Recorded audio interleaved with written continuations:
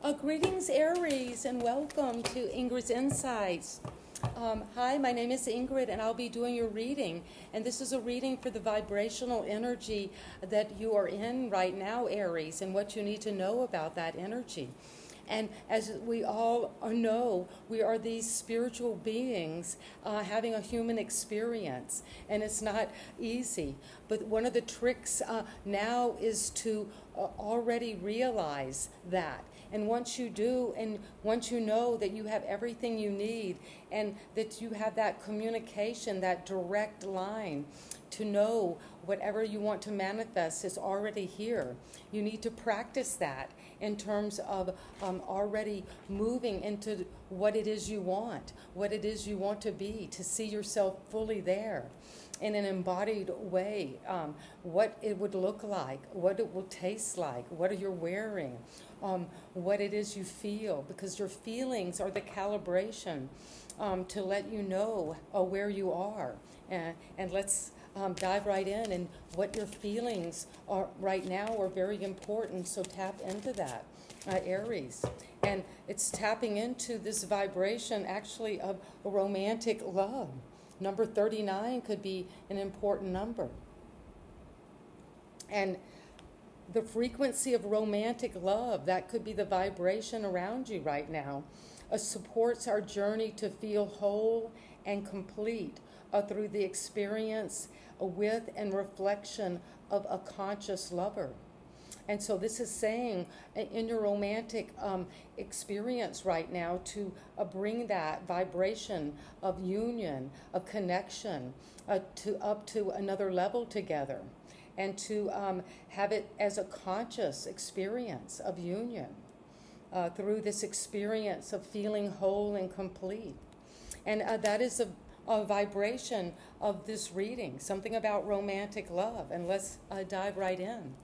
And to uh, recognize that whatever it is, if you're in a romantic partnership, wonderful. And to um, bring conscious awareness to that vibrational energy, that you are part of Source. Um, and uh, this. Um, universe brings us the same calibration as what we're vibrating at. So if you are out there wanting a new relationship, Aries, um, you need to vibrate, to raise your vibration to the kind of a person you want to be in that relationship, to already see it happen, and to uh, forget about past relationships that didn't work, and not to analyze that, but just to move into a new vibration of what you do want um, as Joseph Campbell says, follow your bliss. Follow your bliss toward this romantic love. And so it is. And this is what I have for you. Well, you're coming in with the two of uh, wands. Well, the two of wands is, is saying there is a stability. You found some ground. You got this fire. This is um, an Aries fire card of moving in the direction of um, what you want in romantic love or in business or just in your spiritual energy. You're finding that you've gotten a certain ground underneath you um, and now you're maybe ready to take this up to a new vibrational level. Um, and there's the Three of Wands. Well, you're progressing. And the three um, is a vision uh, that you're putting out there. And it might challenge this stability of where you come to, but it's time to get um, out and to move forward uh, on, on, a new vision, uh, to see um, out with the old, in with the new, and to take that vision out, whatever it is, is um, a product or a, a work you, you put out, a creative idea, um, a, a, resume for a new career, um, something you're putting out for um, uh, to buy a house, but something is a vision, and you're waiting to hear what the results are. And what's coming at the foundation is the sense of the Queen of Swords, where you're getting clarity um, this might be out of your field of awareness at the moment, but you are seeing the truth. You're getting above the clouds um, about what this vision is and uh, what this romantic love is, and you're seeing it maybe for the first time as uh, this connection, a conscious relationship. And it's coming because you let go in the recent uh, past of a heavy burden an obligation, a responsibility. Uh, maybe you've been feeling like uh, to uh, find this joy, this romantic connection, you had to work, it had to be a burden. Well, often we're taught, um, or we get this picked up maybe through our peers or our teachers, or just the culture itself, that uh, relationships. Um, they're, uh, they're hard. Uh, they're a burden.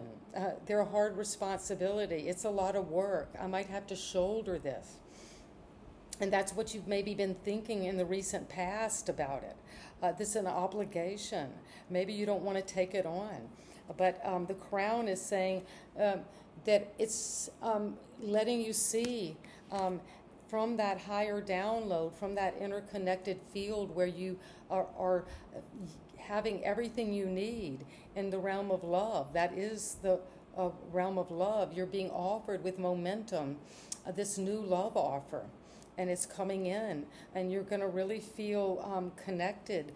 And also, you're going to let this burden down because you're going now as we said, uh, toward the vibrational field of what you want, what brings you joy, what makes you feel uh, uh, alive, fulfilled, in connection and communion with your uh, vibrational energy. So you receive this uh, divine love.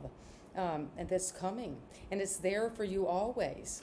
And it's coming because you're taking time now to meditate, to really let go of the uh, thoughts that your ego might be bringing up about this romantic love, and you're getting um, the Queen of Swords is helping you see truthfully what is real for you, what this virtual reality you're taking in through active imagination, what it is you really want out of love, what is the kind of love you want to offer, what is the momentum you have toward this love. Love of self, love of God, uh, love of spirit, love of that inner core within you, that true self. And that's coming on this spiritual journey, and you're resting and meditating uh, because what you're seeing uh, about this um, um, planning, what you're planning, what you've worked on, is the Eight of Cups.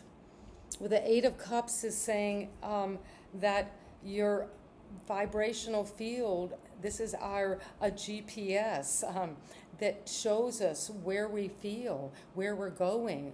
Uh, do I want to move toward this or, or away from this? Uh, does this bring me happiness or do I feel sorrow? Uh, does this make me feel alive or do I feel stagnant and uh, dead, uh, depressed? Where is this energy? Where is my um, calibration and my feelings?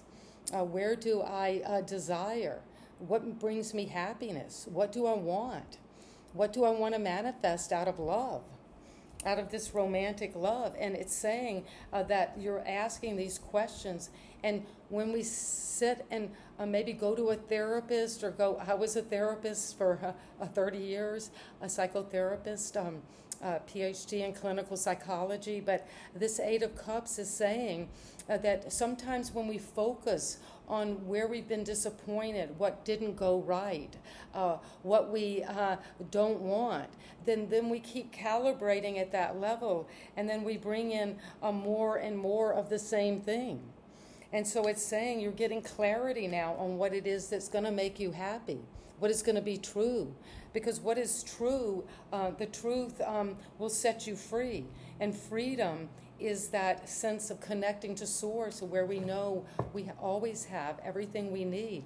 It's like a, a fountain uh, that is flowing, it's endless.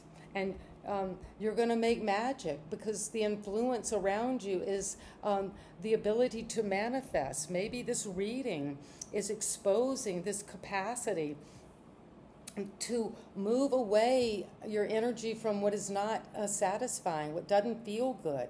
It's as simple as that, Aries. If it doesn't feel good, you need to move on from it and to calibrate at this level of the magician, which is the number one. It's the beginning. I mean, the zero of the fool is the beginning card, but this is uh, where you bring things down.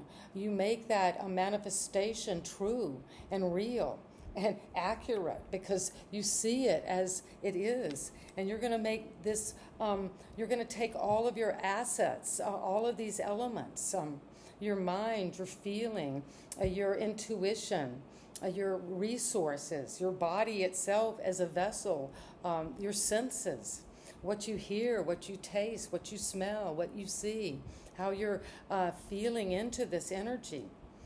Um, around this um, plan you have and where you want to take this vision out. And it's uh, coming because uh, your hope and fear is um, the hermit. This is a Virgo energy. Well, your hope and fear is that you will uh, have some time to go inward. Maybe you need to reflect um, on what it is that you do um, know now as wisdom. Some wisdom you have gained about romantic love. You're getting wisdom and inner knowledge, introspection about the frequency of romantic love and um, about your journey to feel whole, uh, Aries, and about uh, how you want to feel a complete uh, through the experience with and the reflection of a conscious lover. But first, you have to go inward and find that vibrational energy um, of the hermit, of that inner knowing.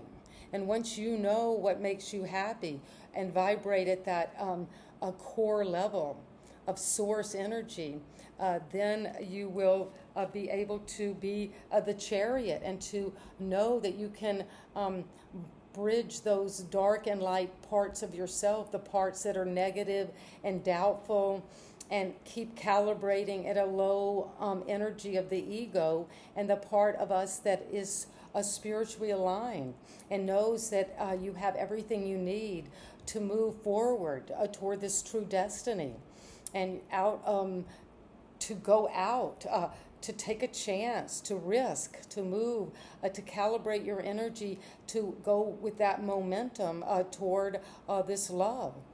And that is what I have for you, Aries. And um, so it is. And please subscribe and give me a thumbs up and leave comments. And you know you're loved. And see you next time. Bye bye.